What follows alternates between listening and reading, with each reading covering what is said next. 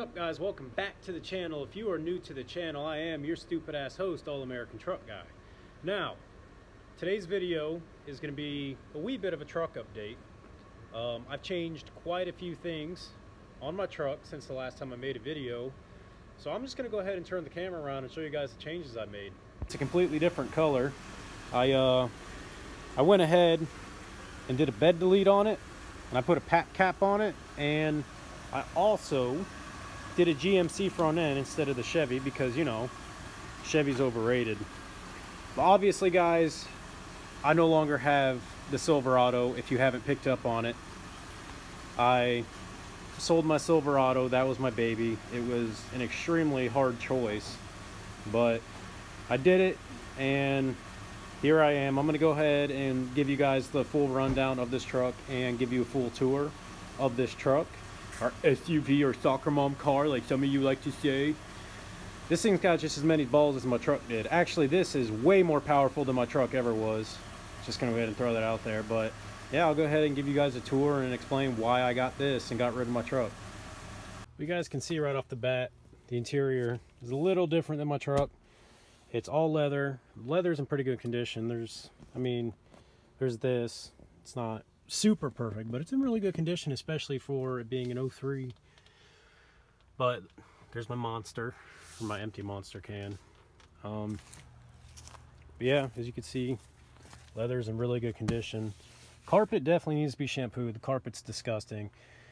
Truth be told, I would honestly kind of rather prefer my old interior just because it's darker and I like the dark color better. I don't really care for the tan, especially with these carpets. I don't know what kind of idiot puts a tan carpet in a vehicle, a truck nonetheless. It's pretty idiotic to be completely honest, but this is one of the reasons I bought this truck. If you look at that, 166,000 miles, started up, no lights on the dash at all. No lights. But if you guys are returning, you'll know my truck had over 200,000 miles on it and I spent so much money on that truck from the time I got it to when I got rid of it and I just couldn't justify spending money on it anymore. It was getting to the point where I wanted to do a lot of stuff to it and it just didn't make sense to do that to that truck because it started having some transmission issues. It was shifting hard and flaring and if you're familiar with 4L60Es, you know they're pretty notorious for shitting the bed on you. So I was like, should I sell it or keep it and buy a transmission? Well, I called around, got some quotes on a transmission, and that kind of made up my mind for me because I was like, I am not spending two grand on a transmission for this shit box. So here we are in another shit box. It's a Yukon. It's not, it's not quite a pickup. It's not quite the same. I'm still kind of adjusting to it just because I prefer pickup trucks. But it'll do for now, and I'll be able to expand and do the stuff that I want to do with this truck, given the mileage, because it doesn't have 200,000 and the transmission isn't boom when I'm going into third and stuff like that.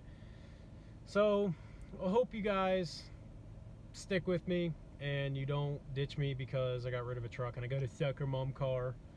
But yeah, there's going to be a lot of stuff that'll be done to this truck in the near future. So if you guys are interested in that, I suggest you stick around and wait to see what I do.